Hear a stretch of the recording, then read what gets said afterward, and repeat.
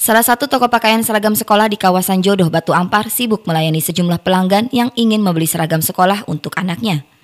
Mereka mencari satu set seragam lengkap dengan topi, dasi, dan kaos kaki. Seperti ibu dua anak bernama Lia ini. Ia sengaja datang ke Jodoh untuk membelikan anaknya satu set seragam sekolah. Padahal rumahnya berada di Tanjung Piayu. Lia mengaku sangat senang anak pertamanya akan duduk di bangku sekolah dasar. Anaknya juga telah terdaftar di salah satu SD negeri di kawasan Tanjung Piayu. Cari baju anak sekolah.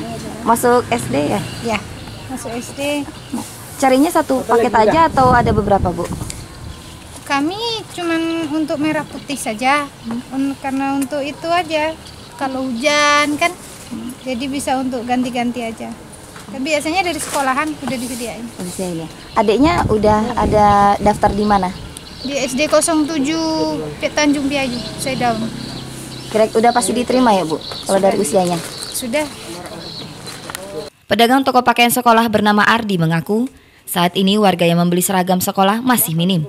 Menurutnya, mereka baru akan membeli seragam pada H-2 awal masuk sekolah. Biasanya Amin dua, H-2. iya. Biasanya apa sih yang dicari? Ya baju sekolahnya Maksudnya yang hitam putih, eh, merah putih. sama, 50-50. Oh, kalau Dari SMP, SD, SMP, SMA. kalau pramukanya gitu Melayu itu juga. Pramuka biasanya udah mulai sekolah.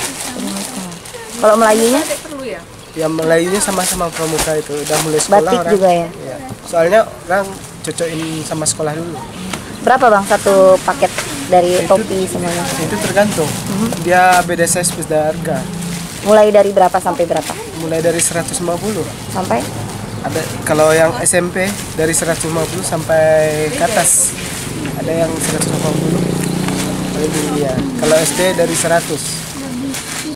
Harga yang ditawarkan untuk satu set seragam sekolah berbeda-beda. Mulai dari Rp150.000 hingga Rp200.000, tergantung ukuran dan tingkatan sekolah. Noreka Devi, kelas 7 menginformasikan.